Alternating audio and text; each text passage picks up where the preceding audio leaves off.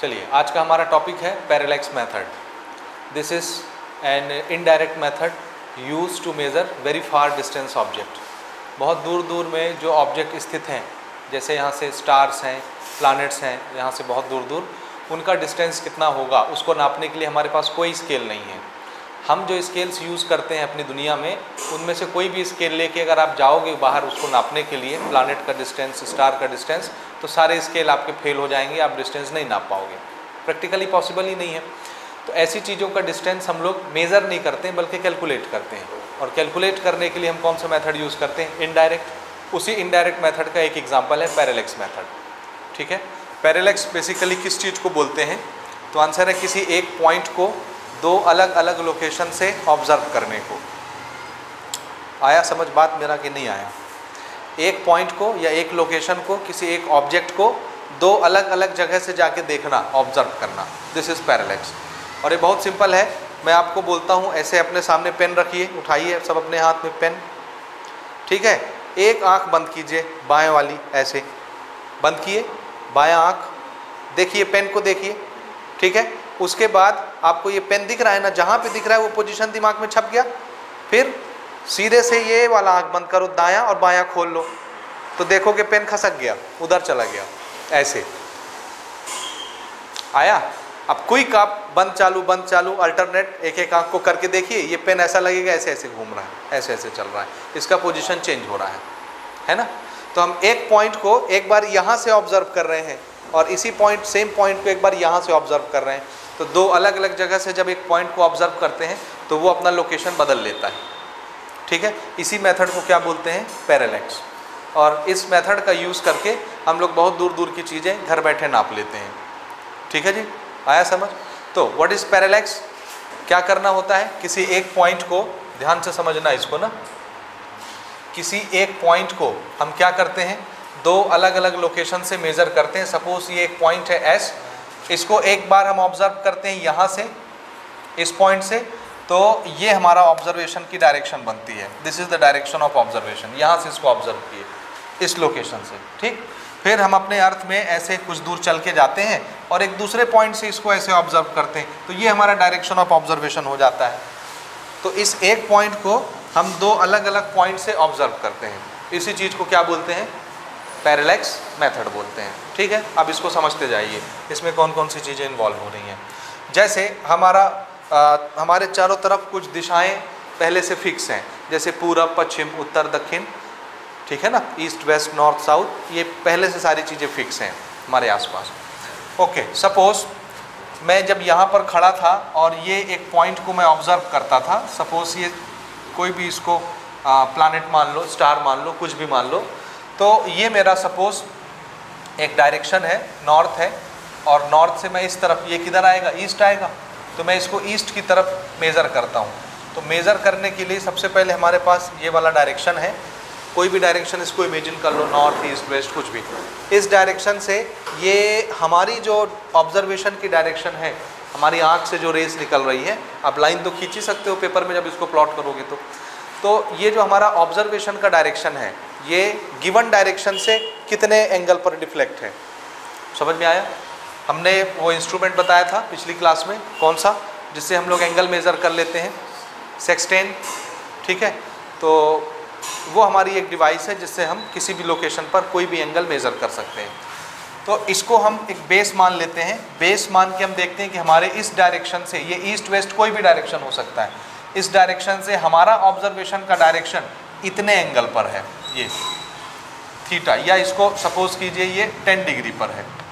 कितना डिग्री? ये वाली डायरेक्शन जो कि ईस्ट वेस्ट कुछ होगी। यहाँ से हमारा ऑब्जर्वेशन जहाँ पर हमको मिल रहा है, ये वाली लाइन। इस डायरेक्शन से ये कितने एंगल पर है? टेन डिग्री पर है। ये समझ में आया? ओके, अभी मैं इस पॉइंट पर खड़े होकर के मैंने मेज़रमेंट लिया है। अब हम अर्थ पर चल के जाएँगे। तो चल के जब जाएँगे तो ये वाला डिस्टेंस हम नाप सकते हैं कि नहीं? हम ही तो जा रहे हैं चल के, दूसरे पॉइंट से ऑब्जर्वेशन लेने। तो ये वाला जो डिस्टेंस हम मूव होके आते हैं, ये, एक जगह से दूसरे जगह जाने के लिए अब दूसरे पोजीशन पर पहुँचे, हम यहाँ पर दिस इज़ बी ठीक है सेकंड पोजीशन और यहाँ से वापस हम इसको देखते हैं, और यहाँ पर सपोज़ अगर ये ईस्ट डायरेक्शन थी हमारी तो सपोज़ ये वेस्ट होगी, या नॉर्थ साउथ कुछ भी मान लो इसको, अभी डायरेक्शन समझिए, इस पर हम बाद में आते हैं, ये क्या है। तो सपोज़ ये वेस्ट वाला है तो अब इधर वेस्ट से इस डायरेक्शन में हमारा ऑब्जर्वेशन का लाइन बनता है। तो हम अपने सेक्सटेन मीटर को यहाँ पे रखेंगे और इसको रिफरेंस लाइन मान के ये देख लेंगे कि हमारा ऑब्जर्वेशन वाला लाइन कितने एंगल पर डिफ्लेक्ट हो रहा है। Suppose this is 20 degree angle यहाँ से कितने डिग्री है ये? इसका डायरेक्शन सेकंड ऑब्जर्वेशन वाली लाइन का डायरेक्शन 20 डिग्री ठीक है? ओके अब थोड़ा सा ये वाला एंगल देखो। If this is the line this is the line अगर दोनों लाइन के पैरेलल मैं यहाँ से एक लाइन खींचूँ पैरेलल इसके और इसके पैरेलल तो ये तुम्हारा ट्रांसवर्सल बन जाएगा। पहली पैरेलल दूसरी पैरेलल को टच करने वाली लाइन क्या होती है? ट्रांसवर्सल तो ये एंगल जितना होता है ये वाला एंगल भी उतना ही हो जाता है। कौन सा एंगल होता है ये? अल्टरनेट इंटीरियर एंगल तो ये भी कितना हो गया? Ten similarly this and this line are parallel then this behaves like transversal so this angle is equal to this angle ये 20 तो ये 20 अल्टरनेट इंटीरियर एंगल तो ये 10 ये 20 टोटल कितना हो गया? जो हमने दोनों जगह से मेज़र किया था एंगल वही एंगल का सम हमको यहाँ पे मिल जाता है। और ये कितना हुआ? 30 डिग्री आया समझ में? इस एंगल का मेज़रमेंट कितना? 30 डिग्री क्या हम वहाँ स्टार में गए हैं ये एंगल नापने नहीं, हम क्या नाप रहे हैं? ज़मीन में अपने एंगल्स और इन्हीं एंगल का हम थोड़ी सी जोमेट्री लगा के ये इसको प्रूव कर सकते हैं कि ये वाला एंगल भी इन दोनों के सम के बराबर होता है। ठीक है जी? यहाँ तक समझ आया? ओके अब देखो ना। अब ये वाला एंगल तो हमारे सेक्सटीन मीटर ने हमको नाप के दे दिया। हमारे डिवाइस ने। ठीक है? ओके एंगल का मेज़रमेंट हमको मिल गया और ये वाला डिस्टेंस तो हम खुद ही चल के गए हैं। तो ये भी मेजरेबल क्वांटिटी है, इसको भी हम नाप सकते हैं। ठीक है ना? इसको हम बोलते हैं बेस क्या बोलते हैं ये वाले डिस्टेंस को? बेस अब ये बेस इसका कुछ भी हम नाम रख देते हैं. Suppose this is angle this is angle this is angle ये तो मेज़र किया, इसके सम से ये वाला एंगल बनाया. दिस इज़ बेस ठीक है? और ये पर्टिकुलर डिस्टेंस हमको निकालना है. ये वाला डिस्टेंस कितना होगा? आर ये वाला. ठीक है? ये ज़मीन में हम रहते हैं यहाँ और यहाँ से हमको किसी स्टार का डिस्टेंस मेज़र करना है. तो ज़मीन से स्टार का डिस्टेंस यही ना हुआ, आर। ये दिस इज़ आर। यही डिस्टेंस ना मेज़र करना है। तो ये डिस्टेंस अगर इसको मेज़र करना है हमको तो हमने थोड़ा सा यहाँ पे इमेजिनेशन लगाया और ऐसा इमेजिनेशन लगाया। इमेजिन करके देखिए कि अगर ये स्टार है तो ज़मीन से बहुत ऊपर होगा। बहुत दूर। हज़ारों, सैकड़ों, लाखों, करोड़ों किलोमीटर दूर होगा ये स्टार ठीक है?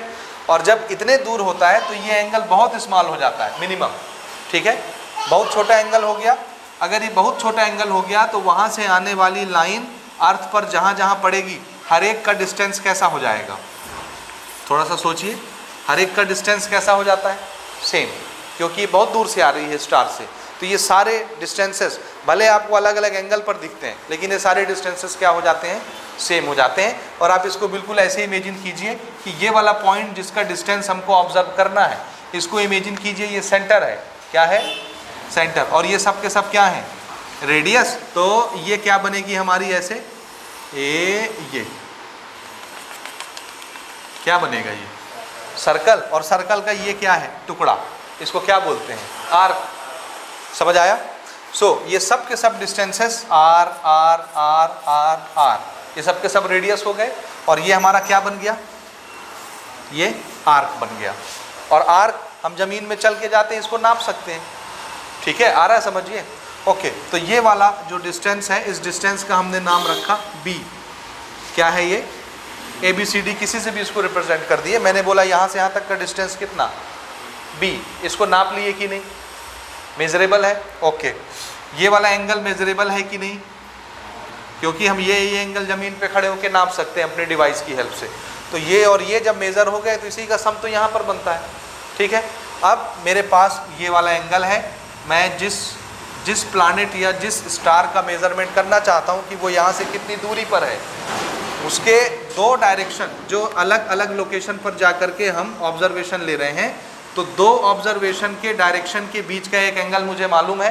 This is the angle between two directions which is taken out from two different location दो अलग अलग लोकेशन से लिए गए डायरेक्शन के बीच का एंगल है ये। आया समझ? ये हमको मालूम है। दूसरा ये वाला डिस्टेंस हमको मालूम है, इसको क्या बोलते हैं? आर्क और हमको तीसरी चीज़ क्या चाहिए? ये वाला रेडियस तो इसमें कौन कौन चीज़ इन्वॉल्व हुई? एंगल आर्क और एक रेडियस क्या इससे मिल करके कोई फॉर्मूला बनता है? आंसर है यस आपने एंगल वाले टॉपिक में पढ़ा है डिटेल से, जब हम लोग मैथमेटिकल टूल्स पढ़ रहे थे. ओके तो इसमें हमारा फॉर्मूला क्या होता है? एंगल के लिए.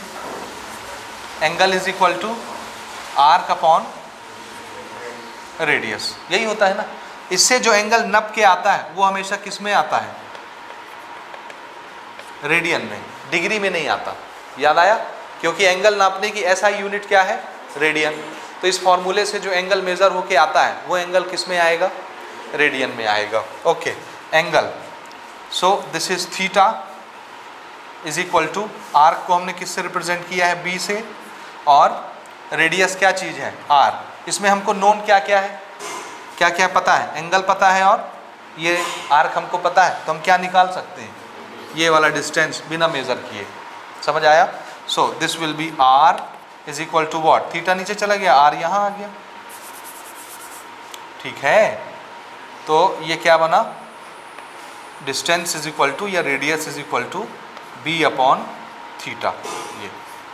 ये वाला डिस्टेंस हमको पता चल जाता है, क्योंकि बी हमने नाप लिया ज़मीन पर ही। और थीटा हमने डिवाइस से नाप लिया है। एक ही अननोन क्वांटिटी रह जाती है डिस्टेंस तो डिस्टेंस हम कैलकुलेट करके निकाल लेते हैं इसमें से।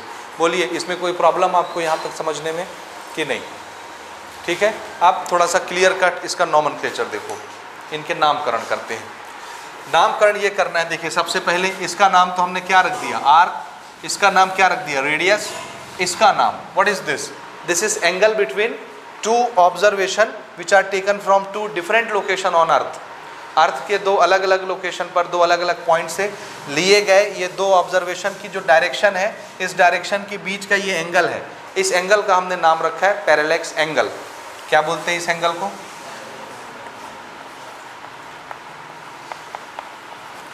पैरेलेक्स एंगल तो पैरेलेक्स एंगल को पहले डिफाइन कर लेते हैं यहीं पर। What is parallax angle note कीजिए। Parallax angle is angle between parallax angle is angle between two directions of observations of a point note करेंगे। Parallax angle is angle between two directions of observations of a point S एक point X के लिए हमने दो direction बनाई, दो observation लिए। ये दोनों ऑब्जर्वेशन के डायरेक्शन हो गए। और ये हमने दो अलग अलग लोकेशन से लिए। इनके बीच का एंगल क्या कहलाता है? पैरेलेक्स एंगल ठीक है जी? ओके अब ये वाला एंगल इस एक पॉइंट पर डिपेंड नहीं करता। जैसे स्टार को हम देख रहे हैं तो ये किसी पॉइंट पर डिपेंड नहीं करता। ये किस पर डिपेंड करता है ये एंगल छोटा होगा कि बड़ा होगा? तो आंसर है अर्थ पर आप कौन से दो लोकेशन से इसको ऑब्ज़र्व कर रहे हो? अगर ये लोकेशन आपके नज़दीक नज़दीक रहेंगे तो बनने वाला एंगल कैसा बनेगा? बहुत छोटा? लेकिन ये दो ऑब्जर्वेशन के पॉइंट आप बहुत दूर दूर जाके ऑब्जर्वेशन लोगे तो फिर ये एंगल कैसा बनेगा? बहुत बड़ा। तो ये वाला एंगल किस पर डिपेंड करता है? आंसर इस बेस पर डिपेंड करता है। ये बेस अगर छोटा होगा तो ये एंगल भी छोटा होगा, क्योंकि आप बहुत नज़दीक नज़दीक पॉइंट लेकर के ऑब्जर्वेशन ले रहे हो। और अगर आप बहुत दूर जा कर के ऑब्जर्वेशन लोगे तो ज़ाहिर सी बात है ये एंगल बहुत बड़ा हो जाएगा। तो ये एंगल किस पर डिपेंड करता है? इस बेस पर बेस छोटा होगा तो पैरेलेक्स एंगल भी छोटा होगा और बेस बड़ा हो जाएगा तो पैरेलेक्स का एंगल भी बड़ा हो जाएगा। ये समझ आया? ओके अब फिर हम ये रिलेशन यूज़ करते हैं। रिलेशन क्या है हमारा ये? एंगल वाला। This is angle is equal to arc upon radius that is theta is equal to B upon R ठीक है? और यहाँ से we can calculate distance R कैसे? आर यहाँ रखेंगे और थीटा उसके नीचे, क्योंकि बी और थीटा दोनों मेजरेबल क्वांटिटी है। तो ये इससे निकल जाता है डिस्टेंस ठीक है जी? ये समझ आ रहा है? बोलिए। बोलिए बोलिए। समझ आ रहा है? यहाँ से थीटा हम लोग कैलकुलेट कर लेते हैं। ओके? समझ आया कि नहीं आया? बताओ, ज़ोर से। आया? हाँ अब इसका छोटा सा एक प्रैक्टिकल देखिए। प्रैक्टिकल समझिए इसका। सब इधर ध्यान दीजिए ना। इसका प्रैक्टिकल समझिए कैसे करते हैं इसको। ठीक? कैसे डिस्टेंस मेज़र करते हैं। तो देखो, ये किस चीज़ का मेज़रमेंट है? किस चीज़ को नाप रहे हैं? किसी स्टार के डिस्टेंस को अर्थ से। अब ना हमारे आसमान में जो स्टार्स हैं, उसको हमने तीन कैटेगरी में बांट दिया है। कितनी कैटेगरी में? हाँ जितने भी स्टार्स हमको ऑब्ज़र्व होते हैं, उसको हमने कितनी कैटेगरी में डिवाइड कर रखा है? तीन कैटेगरी में। कैसे कैटेगरी बनाए हैं देखो। एक, हमारी अर्थ की सरफेस से सबसे नज़दीक में जो स्टार होंगे वो, इसको क्या बोलेंगे? Near star.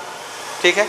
इससे जो दूर होंगे वो मिडिल स्टार मिडिल डिस्टेंस और इससे भी जो ज़्यादा दूर होंगे वो फार अवे स्टार बहुत ज़्यादा दूर वाले। आ रहा है समझ में? तो एक हमारी अर्थ से कुछ नज़दीक पे स्टार है तो नियर स्टार और एक उससे ऊपर मिडिल स्टार मिडिल डिस्टेंस वाले स्टार और जो बहुत दूर है वो फार अवे स्टार बहुत ज़्यादा दूर वाले स्टार अब इसका एक ड्रॉबैक समझिए इस मेथड का। हम कौन से स्टार के डिस्टेंस इस मेथड से निकाल सकते हैं और कौन से स्टार के डिस्टेंस इस मेथड से नहीं निकाल सकते। तो इसका ड्रॉबैक ये है कि अर्थ के नज़दीक में जो स्टार्स हैं नियर बाय स्टार उनको आप नाप सकते हो कि कितनी दूरी पर है, ठीक? और उसके बाद जो मिडिल लेयर में मिडिल डिस्टेंस पर स्टार हैं, उसको भी नाप सकते हो। लेकिन जो फार अवे स्टार हैं, उससे भी ज़्यादा दूर, उसको हम इस मेथड से नहीं निकाल सकते। आया समझ, याद रहेगा इससे क्या क्या, किस, कौन से स्टार का मेज़रमेंट इससे होता है। तो ये अगर कभी क्वेश्चन भी आ गया कि by the use of parallax method we can find out the distance of which star या we can find out the distance of star which is at option दिया रहेगा एक, दो, तीन। Near star middle star far away star तो किसका आप measurement कर सकते हैं इसमें? नियर स्टार का और मिडिल स्टार का फार अवे का नहीं कर सकते, जो बहुत ज़्यादा दूर है। क्यों नहीं कर सकते? उस पर हम अभी आते हैं इसके कारण पर। ये मेरी बात समझ आए यहाँ तक आपको? ठीक? अच्छा आप समझिए ना। इसमें एक छोटा सा प्रैक्टिकली इसमें थोड़ा सा एक प्रॉब्लम होता है। मैंने क्या बोला? ये सपोज़ एक स्टार है, जिसका मेज़रमेंट हमको करना है। ठीक? अब स्टार बहुत दूर होता है। ठीक है? क्या होता है? बहुत दूर। अब हम, अगर मुझे ये वाला डिस्टेंस नापना है अर्थ से कि अर्थ से ये कितने डिस्टेंस पर होगा तो मुझे क्या क्या पता होना चाहिए डिस्टेंस नापने के लिए? एक तो ये वाला डिस्टेंस आर्क ये पता होना चाहिए। तो ये तो हम नाप लेंगे, हम ही जाएँगे तय करके तो देख लेंगे कितना किलोमीटर गए। दूसरी चीज़ क्या पता होना चाहिए? एंगल एंगल कौन सा? ये वाला पैरालेक्स एंगल और ये वहाँ जाके नहीं नापना है स्टार में, यहीं खड़े होकर नापना अपने डिवाइस से। जोमेट्री लगा के इसको निकाल लेते हैं हम डायग्राम बना के। ठीक है? तो एक मुझे क्या चाहिए? ये वाला डिस्टेंस जो मैं इजीली नाप सकता हूँ। दूसरा मुझे क्या चाहिए? ये वाला एंगल जो मैं किससे मेज़र करता हूँ? सेक्सटेन मीटर से मेज़र करता हूँ। ये समझ आया? लेकिन एंगल नापने में प्रैक्टिकली बहुत प्रॉब्लम होता है। कैसे प्रॉब्लम होता है? इसको थोड़ा एनालाइज करिए। ठीक है? देखिए, ये स्टार एक तो बहुत दूर होता है। ठीक है? क्या होता है? बहुत दूर। बहुत दूर जब कोई चीज़ होती है और वहाँ से जब रे आती है तो वो रे यहाँ आते आते आते आते ऑलमोस्ट पैरल हो जाती है। समझ आया? बहुत दूर से जब कोई रे आती है तो वो रे आते आते क्या हो जाती है? पैरल अब हम ये देखते हैं कि ये स्टार बहुत दूर है। सन तो बहुत नज़दीक है। सन से भी लाखों गुना, आपने पढ़ा था ना न्यूमेरिकल में हमने बनाया था। पाँच लाख गुना, एक लाख गुना, दस लाख गुना भी ज़्यादा दूर स्टार है। सबसे नियरेस्ट स्टार पढ़े थे ना? सन के लिए। वो अपने लिस्ट भी बनाई थी नोट की थी। ओके अब इसको समझिए, ये अगर बहुत दूर है और मैं यहाँ पर एंगल नापता हूँ सपोज़ यहाँ पे मुझे ये वाला ऑब्जर्वेशन का एंगल मिलता है टेन डिग्री और मैं अर्थ के एक पॉइंट से आगे बढ़ता हूँ बढ़ता हूँ बढ़ता हूँ बढ़ता हूँ, यहाँ पहुँचता हूँ तो मैं देखता हूँ कि ये सितारा मुझे यहाँ दिख रहा था, ये एंगल मुझे टेन डिग्री मिल रहा था। मैं यहाँ पे एंगल नापता हूँ, वहाँ पर भी टेन डिग्री ही मिलता है। समझ आया? एंगल में कोई फ़र्क ही नहीं आता। जब तक एंगल में कमी नहीं आएगी तो अलग अलग एंगल आपको नहीं मिलेंगे। तो आप इसका कैलकुलेशन भी नहीं कर पाएँगे। समझे कि नहीं समझे? आपको दो एंगल चाहिए ना अलग अलग पॉइंट से।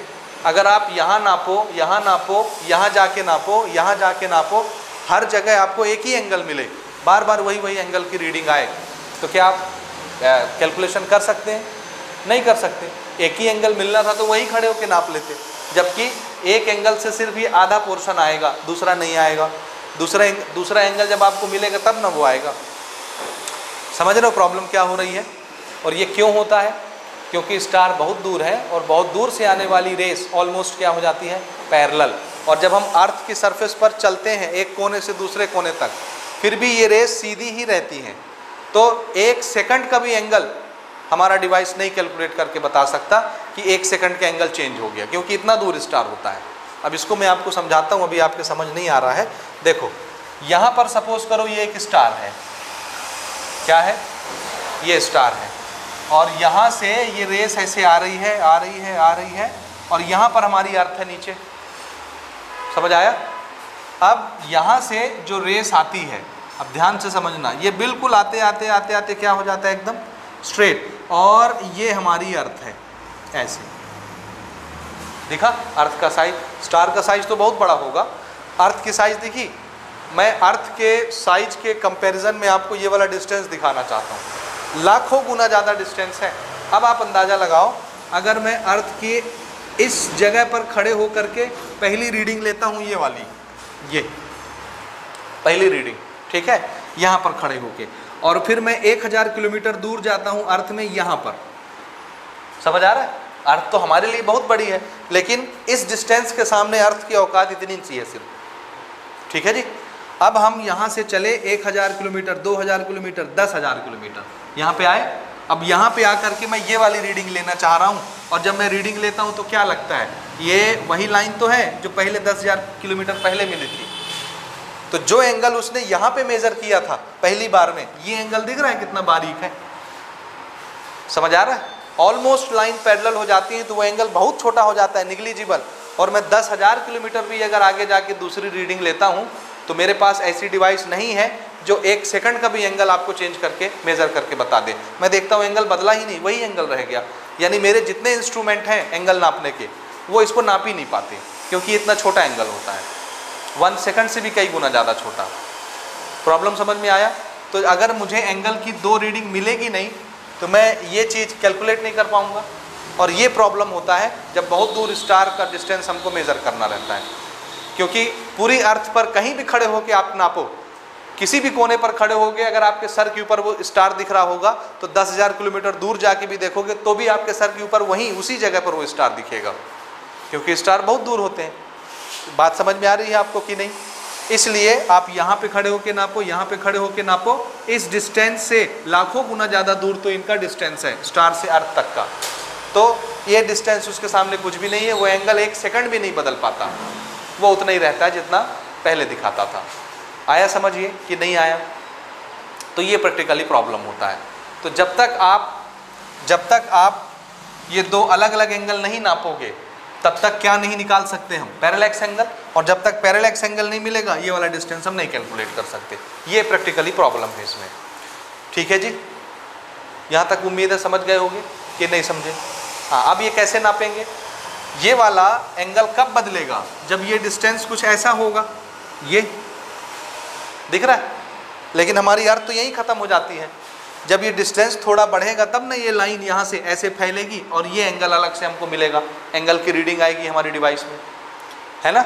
लेकिन हम यहाँ से जब आगे बढ़ते हैं तो अर्थ ही ख़त्म हो जाती, लेकिन ये लाइन आगे नहीं बढ़ पाती। तो एंगल नहीं मिल पाता हमको यहाँ पर का। ठीक है? तो इसका जुगाड़ देखिए। इसका जुगाड़ क्या है? कि अगर ये वाला बेस ये बेस है ना? समझ रहे हो? अगर ये एंगल थीटा है, ये वाला डिस्टेंस आर है तो ये क्या है? बेस अगर बेस छोटा है तो ये एंगल आप नहीं मेज़र कर पाओगे। लेकिन अगर ये बेस बड़ा हो गया तो ये लाइन ऐसे फैल जाएगी स्टार से, और ये एंगल आप नाप लोगे। दूसरी जगह दूसरी रीडिंग मिल जाएगी। इसको नापने के लिए क्या बड़ा करना है आपको? जितना बड़ा आपका बेस होगा, उतना क्लियर कट आपको वहाँ एंगल मेज़रमेंट हो जाएगा। आपके डिवाइस उसको नाप लेंगे। लेकिन प्रॉब्लम क्या है? बेस कैसे बढ़ाओगे? क्योंकि बेस बढ़ाने के लिए जैसे ही मैं यहाँ से चलता हूँ, दस हज़ार किलोमीटर पहुँचता हूँ अर्थ ही ख़त्म हो जाती है।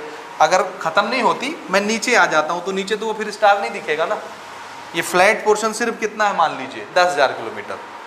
और उतने के लिए ये छोटा सा दस हज़ार किलोमीटर का डिस्टेंस इस डिस्टेंस के सामने कुछ भी नहीं है। ये एक सेकंड भी एंगल नहीं चेंज कर पाता, इतने डिस्टेंस के लिए।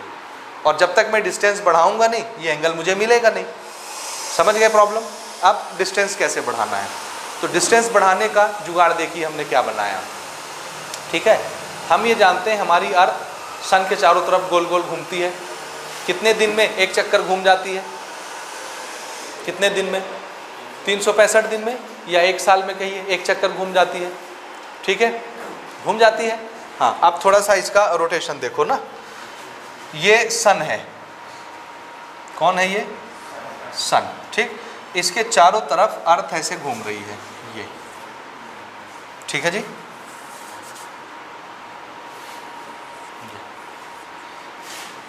हम्म।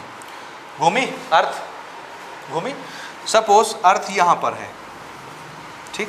दिस इज़ अर्थ है ना? आप जानते हैं सन से लेकर के अर्थ तक का डिस्टेंस कितना होता है ये वाला? कितना होता है? वन एस्ट्रोनॉमिकल यूनिट तो ये वाला डिस्टेंस हम जानते हैं कि नहीं? जानते हैं? अभी जनवरी का महीना चल रहा है और ये ऐसे घूम के एक साल में यहाँ आता है। एक साल में कितने महीने होते हैं? बारह महीने। ठीक है? तो जब ये चलेगा जनवरी, फरवरी, मार्च, अप्रैल, मई, जून, बारह महीने में घूम के वापस से यहाँ आ जाएगा तो छः महीने में कहाँ पर होगा? जस्ट यहाँ पर होगा।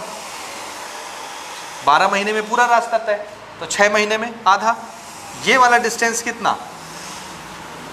बताओ सन से अर्थ कितना? वन एस्ट्रोनॉमिकल यूनिट अब बताइए अर्थ यहाँ है? अगर मैं अर्थ के ऊपर खड़े होकर के मेज़रमेंट लेता, दस हज़ार, बीस हज़ार किलोमीटर तो ये एंगल एक सेकंड भी नहीं मिलता। लेकिन अगर मैं ये सोच लूँ कि अर्थ यहाँ है, और ये वाला वो स्टार है, जिसको मेज़र करना है हमको, ये। ठीक है? ये मैं थोड़ा ऊपर का मिटा दूँ। ये आपने नोट किया ऊपर का? मिटा दूँ इसको? ओके। हाँ जी, अब इसको समझो ना। हम्म। मुझे यहाँ पर एक स्टार है जिसका डिस्टेंस मुझे मेजर करना है। दिस इज़ द स्टार ठीक है? आ रहा समझ? ओके, अब मेरी अर्थ यहाँ है। उस समय मैं ये वाला डिस्टेंस अगर मेज़र कर लूँ सॉरी ये वाली डायरेक्शन मैंने देखा, यहाँ से इतना बनता है। ये एंगल पर ध्यान देना ना। अब छः महीने बाद मैं जान रहा हूँ अर्थ घूम के कहाँ जाएगी? यहाँ। तो ये मेरा दूसरा पॉइंट ऑफ़ ऑब्जर्वेशन होगा। यहाँ से दोबारा मैं इसको देखूँगा और एंगल नाप लूँगा। उस समय ये एंगल कितना बड़ा हो गया? जो एक सेकंड भी नहीं बदल रहा था अर्थ पर नापने से। तो ये डिस्टेंस हमने कितना लंबा कर लिया, देखो ये रास्ता। आ रहा समझ? जब ये डिस्टेंस बेस को हमने बढ़ा दिया तो ये पैरालेक्स एंगल हमको मिल जाएगा कि नहीं? अब हमारे डिवाइस इसको मेज़र कर लेंगे। तो इसमें हम क्या करते हैं? एक रीडिंग कब लेते हैं? किसी एक महीने में। और दूसरी रीडिंग कब लेंगे? छः महीने बाद, जब अर्थ यहाँ पहुँच जाएगी। समझ आया? पहली रीडिंग लेने के लिए क्या करेंगे? ये और एंगल नाप लेंगे। ठीक है? और दूसरी रीडिंग लेने के लिए इधर से ये वाला एंगल नाप लेंगे। तो ये एंगल हमको मिल जाएगा, जो हम अभी यहाँ डिस्कस कर रहे थे। आया समझ में कि नहीं आया? अब इसमें एक छोटा सा प्रॉब्लम और है। एक प्रॉब्लम तो सॉल्व हो गई कि हमने बेस क्या किया? बढ़ा लिया। और ये टोटल बेस कितना हो गया? बोलिए टू एस्ट्रोनॉमिकल यूनिट बेस लंबा कर लिया तो ये वाला एंगल मेजरेबल हो गया। यानी अब ये देगा रीडिंग बढ़िया एंगल देगा, ज़्यादा बड़ा एंगल देगा। तो ये रीडिंग का जुगाड़ हमने बना लिया। लेकिन अब प्रॉब्लम ये है, नापे कैसे एंगल एंगल कैसे नापें? एंगल नापने के लिए क्या चाहिए? कम से कम दो लाइन चाहिए। है ना? एक मैंने क्या बताया था? ये बेस लाइन चाहिए और यहाँ से हम अपना सेक्सटेन मीटर लगा के ये वाला एंगल मेजर कर लेते हैं। अब दो लाइन चाहिए हमको। कैसे नापें जी? अगर मैं अर्थ को, देखो, जनवरी में अर्थ यहाँ पर है है ना? और मुझे इसको नापना है। तो एक लाइन तो ये हो गई एंगल नापने के लिए। दूसरी लाइन अगर मैं हॉरिजेंटल को मान लेता हूँ, अर्थ की सरफेस को, ठीक है? तो ये एंगल अभी तो नपा जाएगा जनवरी के महीने में, यहाँ से और अर्थ की सरफेस से। कितना एंगल है? नपा गया? ठीक? लेकिन हमने अगर हॉरिजॉन्टल अर्थ की सरफेस को ही एक लाइन मान लिया, दूसरी लाइन ये हो गई एंगल नापने के लिए तो प्रॉब्लम ये होगा कि हमारी अर्थ खुद ही घूम रही है। ऐसे भी तो घूमती है, अर्थ ना? ऐसे तो घूमती ही है। साथ में ऐसे भी घूमती है। तो जब ये ऐसे घूमेगी और मैं इसको रेफरेंस लाइन मानूँगा एंगल के लिए दो लाइन चाहिए कम से कम। तो ये वाली लाइन अगर मैं अर्थ के ऊपर मानूँगा, ये तो ठीक दिख रहा है यहाँ से, इस स्टार को देख रहे हैं। लेकिन ये वाली लाइन अगर मैं अर्थ की सरफेस पर मान लूँगा तो थोड़ी देर बाद ये सरफेस ही ऐसे घूम जाएगा, ये लाइन नीचे चला जाएगा। तो प्रॉब्लम होगा। छः महीने बाद जब मैं यहाँ पर पहुँचूँगा तो ये लाइन तो रहेगी, लेकिन वो अर्थ की सरफेस पर जो ये लाइन बनाए थे हम बेस के लिए, ये वाली लाइन, ये वाली लाइन तो घूम के नीचे जा चुकी है, ये हमको वापस से यहाँ नहीं मिलेगी तो फिर ये एंगल कैसे मेज़र होगा? क्योंकि हमारी सरफेस पूरी खुद ही घूम रही है, अर्थ। आ रहा है प्रॉब्लम समझ कि नहीं आ रहा? और एंगल हमको नापना है एंगल नापने के लिए दो लाइन चाहिए तो कैसे करें? तो हमने ना ये सोचा, देखो, कि हमको एक ऐसी लाइन चाहिए जो यहाँ पर थी। अगर ये लाइन हमको ऐसे मिल जाए तो इस लाइन के रेस्पेक्ट में मैं ये वाला एंगल नाप लूँगा कि ये कितना डिग्री ऐसे झुका हुआ है। और यही लाइन मुझे छः महीने के बाद यहाँ मिले सेम टू सेम वही लाइन तो मैं इसी लाइन के रेस्पेक्ट में इसको भी नाप लूँगा, क्योंकि ये छः महीने पहले भी वहीं थी छः महीने बाद भी वहीं है, बदली नहीं। ठीक है? एक ऐसी लाइन हमको चाहिए, जो अपनी पोजीशन को चेंज नहीं करती हो। अर्थ के ऊपर लाइन इमेजिन करोगे तो अर्थ घूमती रहती है तो वो बार बार बदलता रहेगा। हमको एक ऐसी लाइन चाहिए जो रेफरेंस हो और वो कभी चेंज ना होती हो। अर्थ भले ऐसे घूमे, चाहे ऐसे घूमे, किसी भी मोशन के लिए वो वाली लाइन नहीं बदलती। ठीक है? तो वो कौन सी लाइन होती है जो नहीं बदलती? तो इसका जवाब है, ये वही लाइन होती है जो बहुत दूर से आती है। अभी मैं आपको ये वही चीज़ तो समझा रहा था कि अगर कोई लाइट बहुत दूर से आए, बहुत दूर से तो आप चाहे यहाँ कितनों किलोमीटर चल लें, आपके रेस्पेक्ट में ये वाली लाइन कभी भी चेंज नहीं होती, वो वहीं रहती है। समझ आया? जैसे इसको ऐसे समझिए, अगर आपको चहलकदमी करने के लिए जाना है सुबह मॉर्निंग में, आप टहलने के लिए निकले तो अपने शहर के एक कोने से दूसरे कोने तक आप चले गए। जब आप घर से निकल रहे थे, आपने देखा, सूरज आपके पीठ के पीछे दिखता है इधर। किधर दिखा? पीठ के पीछे। आप शहर के एक कोने से दूसरे कोने पर पहुँच गए और शहर ख़त्म हो गया। वहाँ पे आपने देखा, फिर भी आपको सूरज कहाँ दिखता है? आपके पीठ के पीछे सूरज घूम के सामने तो नहीं आ जाता। क्यों? आप तो एक किलोमीटर, दो किलोमीटर चल के गए हो, शहर ख़त्म हो गया। है पाँच किलोमीटर चल के गए हो, शहर ख़त्म हो गया है। लेकिन पाँच किलोमीटर पहले भी सूरज आपके पीठ के पीछे था, दाहिने हाथ में। और पाँच किलोमीटर आपने चल लिया, फिर भी सूरज कहाँ दिखता है? वहीं सेम जहाँ पहले दिख रहा था। तो क्यों भाई? आप तो पाँच किलोमीटर चल के आए हो। सूरज ने अपना पोजीशन क्यों नहीं बदला? सूरज से आने वाली रेस अभी भी वही है। क्यों? वो इसलिए क्योंकि यहाँ से सन का डिस्टेंस क्या है? बहुत ज़्यादा। इस डिस्टेंस के सामने मेरा ये थोड़ा सा चलना, ये कोई मायने नहीं रखता। समझ में आया? तो अगर ये वाला डिस्टेंस अर्थ के ऊपर मैं दस हज़ार किलोमीटर भी चल लेता हूँ, ये स्टार से ये वाले अर्थ का डिस्टेंस इतना ज़्यादा दूर है, इतना लंबा डिस्टेंस है कि उसके सामने ये दस हज़ार किलोमीटर भी कुछ नहीं है। उससे भी लाखों गुना ज़्यादा ये डिस्टेंस है। तो हमारे थोड़ा बहुत चलने से ये डिस्टेंस नहीं बदलता। ये अभी भी यहाँ आएगी, दस हज़ार किलोमीटर दूर भी जाओगे तो भी ऐसी लाइन मिलेगी। जब भी सर उठाओगे, ये लाइन आपको सर के ऊपर ही दिखेगी। आया समझ में ये कि नहीं आया? सेम टू सेम हमको यहाँ रेफरेंस लाइन चाहिए तो हम क्या करते हैं? हम एक ऐसा स्टार खोजते हैं। मैंने अभी आपको तीन स्टैंडर्ड बताए ना, हमने जो डिवीज़न किया है स्टार का बहुत नज़दीकी स्टार, मिडिल वाले स्टार और बहुत दूर वाले स्टार। तो हम ना एक बहुत दूर वाले स्टार को पकड़ते हैं। दूरबीन से देखते हैं, टेलीस्कोप से, जो बहुत फार अवे है। एक ऐसे स्टार को पकड़ते हैं जो बहुत दूर है। वहाँ से जो लाइट आएगी, वो कैसी रहेगी? हर जगह स्ट्रेट जो दूर से लाइट रेस आती हैं, वो कैसी रहती हैं? बोलिए स्ट्रेट और हमारे थोड़ा बहुत चलने से उसको कोई फ़र्क पड़ता है क्या? क्यों? क्योंकि ये वाला डिस्टेंस हमारे डिस्टेंस से क्या होता है? बहुत ज़्यादा। तो ये वाला डिस्टेंस भले टू एस्ट्रोनॉमिकल यूनिट है। अर्थ यहाँ है, फिर अर्थ यहाँ आ गई। भले ये क्या है टू एस्ट्रोनॉमिकल यूनिट लेकिन इस डिस्टेंस की कोई औकात नहीं है, अगर मैं एक स्टार यहाँ पर ले लूँ। ये कौन सा स्टार है? फार अवे समझ आया? तो वहाँ से जो लाइट रे यहाँ हमको दिखेगी, हम यहाँ अर्थ पर खड़े, यहाँ देखेंगे, हमको सर के ऊपर दिखेगा। तो यहाँ से अगर लाइट ऐसी आती हुई हमको दिखी, ये, जब हम यहाँ हैं समझ रहे हैं? ये वाली लाइट उस फार अवे स्टार से कहीं होगा वो? वहाँ से ये लाइट ऐसे आई, यहाँ पड़ी, और जब अर्थ घूम के यहाँ आ जाएगी छः महीने के बाद छः महीने के बाद भी आप देखोगे तो भी ये फार अवे स्टार कहाँ दिखेगा आपको?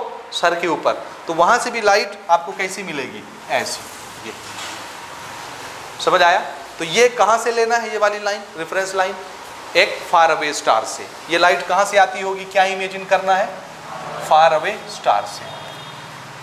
इसका नाम समझ आए फार अवे मतलब क्या? सबसे ज़्यादा ऊपर में जो स्टार है, उसका हमने जो अभी डिवीज़न किया है मिडिल वाला, फिर नीचे, नज़दीकी नियर बाय मिडिल और फार अवे तो ये फार अवे स्टार से आने वाली लाइट है और ये इतनी दूर से आ रही है कि इस डिस्टेंस के सामने ये वाले अर्थ का डिस्टेंस टू एस्ट्रोनॉमिकल यूनिट जो कि बहुत ज़्यादा है, ये भी कोई मायने नहीं रखती. ये भी निगलिजिबल है. चाहे यहाँ से भी देखोगे तो भी यहाँ के लिए ये स्ट्रेट आएगी और यहाँ के भी स्ट्रेट आएगी। इन दोनों लाइन के बीच में कोई भी एंगल का चेंज नहीं आता। दोनों पैरेलल रहती हैं। जैसे ये, एक लाइन आई और यही दूसरी लाइन आई। पैरेलल है। तो यहाँ पे एंगल में कोई चेंज आया क्या? नहीं आया। सिमिलरली ये भी है। वही चीज़ है, मैं थोड़ा बड़ा करके आपको दिखा रहा हूँ, फैला के। समझ में आया ये कि नहीं आया? तो हमने रेफरेंस लाइन किसको चुना? कहाँ से आने वाली रेस को? फार अवे स्टार से आने वाली रेस को हमने रेफरेंस लाइन बना लिया। अब अगर मुझे रेफरेंस लाइन मिल गया, अब ये कौन सा स्टार है जिसको मेज़र करना है? फार अवे स्टार इधर कहीं है, ये वाले आसमान में।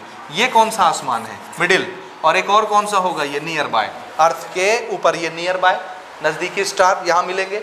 इससे ऊपर ये मिडिल स्टार और सबसे ऊपर ये फार अवे स्टार तो मैंने शुरू में बात किया था पैरेलैक्स मेथड से कौन से स्टार का डिस्टेंस नहीं नापा जा सकता। फार अवे क्यों? क्योंकि अगर फार अवे स्टार का डिस्टेंस नापोगे तो हमको ये वाली लाइन चाहिए होगी। तो ये वाली लाइन कौन से स्टार से लोगे? इससे ऊपर तो कोई स्टार नहीं होगा। समझ रहे हो? और ये चाहिए तो इसके ऊपर स्टार होगा, तब ना ये लाइन आप इमेजिन कर पाओगे। समझ रहे हो? इसलिए इसको हम मेज़र नहीं कर सकते, इसके डिस्टेंस को। प्रॉब्लम समझ में आया कि नहीं आया? ये क्यों मेज़र कर ले रहे हैं? क्योंकि इसके पीछे है फार अवे स्टार जहाँ से लाइट आएगी तो वो पैरल रहेगी हमेशा। इसको क्यों मेज़र कर लेंगे नियर बाय को? क्योंकि इसके पीछे ये भी है, इसको रेफरेंस मान लो, यहाँ से आने वाली लाइट रे सीधी रहेगी। या इसको ले लो, यहाँ से आने वाली लाइट रे सीधी रहेगी। आया समझ या नहीं आया? बोलिए। नहीं आया। कुछ कुछ आया, पूरा आया। पूरा आया। तो ठीक है, ये लाइन समझ में आया एज ए रेफरेंस क्यों ले रहे हैं? क्योंकि ये कभी नहीं बदलेगी। यहाँ रहोगे, अर्थ यहाँ रहेगी तो भी जनवरी में भी ये यहीं पे दिखेगा, फरवरी में भी ये ऐसे ही रहेगा, मार्च, अप्रैल, मई, जून, जुलाई। कभी भी देखोगे, ये आपके सर के ऊपर हमेशा ऐसी ही दिखती रहेगी। जब भी सर उठा के देखोगे वहीं पे दिखेगा स्टार जहाँ पहले दिख रहा था। दस महीने बाद भी देखोगे वहीं दिखेगा। और ये प्रैक्टिकली प्रूफ भी है। आप लोग रात में देखिए कभी कि एक स्टार को अंदाज लगाइए, अभी आपको जहाँ पे दिखता है, ठीक है? उसके बाद उसको अगले महीने देखिए, फिर अगले महीने देखिए, फिर अगले महीने देखिए, फिर अगले महीने देखिए, बार बार देखिए, हर महीने देखिए, आपको वो वहीं दिखेगा। क्योंकि स्टार बहुत धीरे मूव करते हैं और उसके मूवमेंट को आप अंदाज़ा भी नहीं लगा सकते कि मूव हुआ है कि नहीं। आया समझ? क्यों? चलते तो हैं, लेकिन हमको क्यों नहीं दिखते चलते हुए? क्योंकि हमारे इस अर्थ के डिस्टेंस से, उनका डिस्टेंस बहुत ज़्यादा लार्ज होता है, और उस डिस्टेंस के सामने अर्थ का डिस्टेंस क्या है? निगलिजिबल। इसलिए वहाँ से आने वाली लाइट रेज हमेशा पैरल ही रहती हैं, वो कभी चेंज नहीं होती। चेंज नहीं होगी तो वो एक ही जगह पर दिखेगा। समझ आया ये? ओके तो ये हमने इसका अरेंजमेंट बनाया इस तरीके से। अब हमको ये दो रेफरेंस लाइन मिल गई। अब हम क्या नाप सकते हैं? सेक्सटेन मीटर लगाएँगे, यहाँ पे रखेंगे और नाप लेंगे ये कितना एंगल है। इसको हमने मेज़र किया पहला ऑब्जर्वेशन इसका नाम रखा थीटा वन उसके बाद जब अर्थ घूम के छः महीने बाद छः महीने बाद जब अर्थ यहाँ पर पहुँची, अगर मैं जनवरी में ऑब्जर्वेशन ले रहा हूँ तो ये कब लूँगा दूसरा ऑब्जर्वेशन जुलाई में जाके छः महीने बाद। ठीक है? तो छः महीने बाद यहाँ पर हमने ऑब्जर्वेशन लिया। दोबारा से हमको यही फार अवे स्टार सर के ऊपर दिखता है। ये light rays I this is reference line और यहाँ से हमने फिर से सेक्सटेन मीटर लगाया, ये वाला एंगल नापा। दिस इज़ थीटा टू और ये तो हम जान ही रहे हैं। कितना? ये बेस तो मेजरेबल है। कितना है ये? तो ये मेजर्ड क्वांटिटी हो गई। थीटा वन थीटा टू मेरे डिवाइस ने मुझको बता दिया। तो ये वाला एंगल कितना हो गया बताओ। This is theta one this is theta two तो the total angle is theta one plus theta two. आया? ये निकल गया। इस एंगल को क्या बोलना? पैरेलैक्स एंगल और इसका मान लो हमने नाम रख दिया theta. Theta one plus theta two equal to theta. जो भी अब बनता होगा। ऐड ऐड करने के बाद जो एंगल भी आएगा डिग्री में मिनट में सेकंड में, उसको हम क्या लिख लेंगे? थीटा। ठीक है? और अब क्या करना है? अब ये वाला डिस्टेंस तुम्हारे पास है। ये वाला एंगल तुम्हारे पास है। क्या करना है? इसमें पुट करना है? ये वाला डिस्टेंस क्या रखना है? टू एस्ट्रोनॉमिकल यूनिट ये वाला एंगल क्या रखना है? Theta theta one plus theta two is theta और आपको क्या मिल जाएगा? ये वाला डिस्टेंस कि हमारे अर्थ से ये स्टार कितना दूर है। आया समझ में? ये इनडायरेक्ट मेथड है स्टार का डिस्टेंस मेज़र करने के लिए। ठीक है जी? आया समझ में? अब जितनी चीज़ें यहाँ पर हमने डिस्कस की हैं, ये इतना लंबा बनाने की ज़रूरत नहीं है। इसको सिर्फ़ हम यहीं पे ले लेते हैं ऐसे, इतना। बस यहाँ पे आप लिख दीजिए this is far away star far away star and this is middle star ठीक है ना?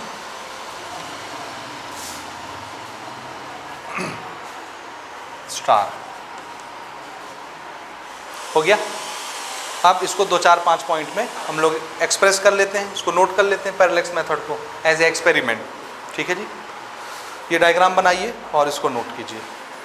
तो ये नोट कीजिए, बढ़िया ऑब्जेक्टिव टाइप का बना के, जिस तरह एक्सपेरिमेंट्स में हम लोग बना के लिखते हैं, उसी तरह से आपको इसको नोट करना है। सबसे पहले what is our object what is our aim what is our aim to find the distance of star which is at medium distance एक ऐसे स्टार का डिस्टेंस मेज़र करना जो कहाँ पर होगा? बोलिए at a medium distance medium distance वाले स्टार का भी हम मेज़रमेंट कर सकते हैं इस मेथड से। और कौन से स्टार का कर सकते हैं? नियर बाय तो मीडियम डिस्टेंस और नियर बाय डिस्टेंस लिख लेना। नियर बाय डिस्टेंस दोनों तरह के डिस्टेंस के लिए। ओके पैरेलैक्स के लिए एक छोटी सी line method is used for measuring the distance of star which is at medium distance और nearby distance far away के लिए ये काम नहीं करता। अच्छा अब इसके जो हमने स्टेप्स ऑफ़ ऑपरेशन रखे हैं कि क्या क्या करना है, उसको तीन चार स्टेप में हमने एक्सप्लेन किया, चार स्टेप नंबर वन क्या करना है सबसे पहला काम? एक फार अवे स्टार सर्च करना है। क्यों चाहिए फार अवे स्टार क्योंकि हमको एक रेफरेंस लाइन चाहिए, जो अर्थ के मोशन के रेस्पेक्ट में अपनी पोजीशन नहीं बदलता। तब ना एंगल आप मेज़र कर पाओगे। तो सबसे पहला काम search a far away star और उस फार अवे स्टार का नाम एफ़ हमने रखा है। Whose direction remain same throughout the year पूरे साल वो स्टार अपनी जगह से एक सेकंड के एंगल पर भी नहीं हिलना चाहिए। ठीक है? ऐसा स्टार सर्च करना है। अगर वो मिल गया तो फिर क्या करना है? किसी भी एक टाइम पर टाइम नोट कर लीजिए कब आप पहला मेज़रमेंट ले रहे हो, आपको क्या करना है? ये वाला एंगल थीटा वन पहले मेजर करना है। टाइम नोट कर लो, जिस दिन मेजर कर रहे हो। So at any time angle theta one is measured between a far away star and S star S S star क्या है? जिसको हम ऑब्ज़र्व करने बैठे हैं। ये ये कौन सा स्टार है जी? जिसको ऑब्ज़र्व करने बैठे हैं, ये वाला स्टार ठीक है ना? तो फार अवे स्टार और ऑब्जर्विंग स्टार के बीच जो एंगल बनता है, उसको नोट कर लीजिए टाइम नोट कर लीजिए, कौन से महीने, किस दिन, कितने बजे आपने पहला ऑब्जर्वेशन लिया है। उसके बाद कितने दिन रुकना है? छः महीने। छः महीने बाद हमारी अर्थ घूम के यहाँ आएगी और ये डिस्टेंस कितना हो जाएगा? टू एस्ट्रोनॉमिकल यूनिट उसके बाद आपको दोबारा से रीडिंग लेनी है, वही फार अवे स्टार सर्च करना है और दूसरे लोकेशन पर से उसी स्टार को देखना है जिसको ऑब्ज़र्व करना है और देखना है दोनों के बीच कितना एंगल बन रहा है। थीटा टू ऑब्ज़र्व कर लिए टाइम नोट कर लिए छः महीने हो गए, उसके बाद ही हमने ऑब्जर्वेशन लिया। जैसे ही आपको ऑब्जर्वेशन मिल गया, ये एंगल ये एंगल तो आप जान रहे हैं दोनों एंगल का सम कौन सा एंगल बनेगा। पैरेलेक्स एंगल तो हमने पैरेलेक्स एंगल कैलकुलेट कर लिया, ये वाला डिस्टेंस हमारे पास है ही। हमने फॉर्मूला लगाया direct angle is equal to R upon radius का। उससे हमको ये रेडियस मिल जाएगा डिस्टेंस तो ये क्या चीज़ है? यहाँ आपको आर की वैल्यू रखनी है टू एस्ट्रोनॉमिकल यूनिट और यहाँ क्या रखना है? Theta one plus theta two समझ आ रहा है ये? ये एक्चुअल में क्या है? This is R is equal to two astronomical unit और नीचे क्या है? Theta one plus theta two what is two astronomical unit two into one point four nine six into ten to the power eleven metre याद आया? One astronomical unit कितना होता है? 1.496 10 to the power 11 ये रखा, टू से मल्टीप्लाई किया, और नीचे जो भी एंगल आपने मेज़र किया होगा रेडियन में। डिग्री में नहीं ना? रेडियन में। उसको रखे कैलकुलेट करेंगे आर आ जाएगा आपका। वो एंगल रेडियन में होना चाहिए। अगर आप डिग्री में मेज़र किए तो उसको किसमें चेंज करोगे? रेडियन में सबसे पहले। उसके बाद वहाँ रख के आप कैलकुलेट करोगे आर आपका कैलकुलेट हो गया। And what is R distance between star and earth और ये डिस्टेंस हर जगह कैसा रहेगा अर्थ पर? Same okay this is the distance और ये निकल आएगा। तो ये समझ आया? अच्छा कोई स्टार अगर इससे भी ज़्यादा दूर है, ये मीडियम वाला लोकेशन है मीडियम रेंज इससे भी ज़्यादा दूर है, जैसे ये फार अवे स्टार है। इसका मेज़रमेंट कैसे करते हैं? इस मेथड से तो नहीं नाप पाएँगे, ज़ाहिर सी बात है। क्यों नहीं नाप पा रहे हैं? बोलिए। क्योंकि हमको रेफरेंस लेने के लिए इससे ऊपर का स्टार चाहिए होगा। और उसके ऊपर का स्टार हम नहीं ढूंढ पा रहे हैं। तभी तो उसका नाम फार अवे रखे हैं। नहीं तो अगर ये फार अवे नहीं होता, इसके ऊपर वाला होता फार अवे तो ये मीडियल मीडियम रेंज में आता ये। समझ रहे हैं ना? समझे? तो जो सबसे ज़्यादा ऊपर होता है फार अवे स्टार, उसका डिस्टेंस कैसे निकालते हैं? उसके डिस्टेंस को मेज़र करने के लिए हम लोग एक दूसरे टाइप का मेथड यूज़ करते हैं, जो कि इस साल आपके सिलेबस में नहीं है। क्लास ट्वेल्थ में जब आप लोग स्पेक्ट्रम पढ़ोगे लाइट्स के वहाँ पर हम आपको बताएँगे कि कैसे एक स्टार का डिस्टेंस मेज़र किया जाता है जो कि बहुत दूर होता है। और वो हम मेज़र करते हैं उसकी कलर से कि उससे कौन से कलर की लाइट आ रही है। हर कलर की अपनी अपनी फ्रिक्वेंसी होती है और उसके कलर से हमको पता चलता है कि कौन सा स्टार कितने डिस्टेंस पर है। आया समझ में? कि नहीं? बोलिए। सो so, छोटा सा नोट कहीं पे लिख लीजिए आप। Note for distance of a far away star we use color to measure its distance. किससे डिस्टेंस मेज़र करते हैं? फारावे स्टार का। कलर से। हर स्टार से आने वाली लाइट की रंग लाइट का कलर अलग अलग होता है। ठीक है ना? यहाँ पे लिख लेना we use colour of light colour of light to measure its distance हो गया जी? तो इसको यहीं पे क्लोज करते हैं। ये हमें हमने आ, बहुत दूर दूर की चीज़ें मेज़र की। Star to star planet to planet इससे प्लानट भी नाप लेते हैं। इसी से मून का डिस्टेंस भी हम नाप सकते हैं। इसको मून इमेजिन कर लो। आ रहा है समझ? और इसका न्यूमेरिकल आपको मिलेगा मून के नाम से। ठीक है जी? आपको मून नापना है तो कोई फार अवे स्टार ले लेंगे। कोई जो मीडियम रेंज में कोई स्टार आता होगा मीडियम डिस्टेंस पे, उसी को फार अवे स्टार मान लेंगे मून के लिए। क्योंकि अर्थ से मून तो बहुत नज़दीक है ना। समझ आ रहा है? और मून का डिस्टेंस हम ऐसे निकाल लेते हैं। हो गया जी ठीक है? तो चलो, इसके बाद हमको छोटी छोटी चीज़ें मेज़र करनी है। बहुत छोटी चीज़ें जो आँख से नहीं दिखती। आँख से नहीं दिखती तो कोई स्केल भी नहीं है उसको नापने के लिए। तो उतनी छोटी चीज़ों का लेंथ कैसे मेज़र करना? जैसे अगर मैं आपसे कहूँ, एक मॉलिक्यूल का साइज़ मेज़र करके बताइए। एक मॉलिक्यूल सिंगल उसका डायमीटर नाप के बताओ, उसका रेडियस नाप के बताओ। अब वो चीज़ आँख से दिखती नहीं है molecule ten to the power क्या होता है? Minus almost minus eight minus nine size होता है एक मॉलिक्यूल का। Minus seven minus eight minus nine ये मॉलिक्यूल का साइज़ होता है। अब कोई स्केल तो है नहीं जो इतनी छोटी लेंथ नाप के दे। तो ज़ाहिर सी बात है डायरेक्ट तो उसको नाप नहीं सकते। इवन आप एक मॉलिक्यूल को सेपरेट भी नहीं कर सकते कि सेपरेट हो जाए तो हम नाप लें। अलग नहीं कर सकते। तो फिर कैसे नापेंगे? तो फिर उसको फिर हम इनडायरेक्ट मेथड से नापेंगे, जैसे इसको नापे इनडायरेक्ट मेथड से। तो उसके लिए भी हमने सेपरेट मेथड बना रखा है। तो अगले लेक्चर में हम लोग देखेंगे छोटी छोटी चीज़ों का मेज़रमेंट हम लोग कैसे करते हैं। ठीक है ना? एक ऑयलिक एसिड के मॉलिक्यूल का डायमीटर हमको मेज़र करना है। कैसे नापते हैं लैब में डायमीटर और इसका प्रैक्टिकल भी आपके सिलेबस में है। ठीक है जी? तो इसको यहीं क्लोज करते हैं, इसको आप नोट कर लें।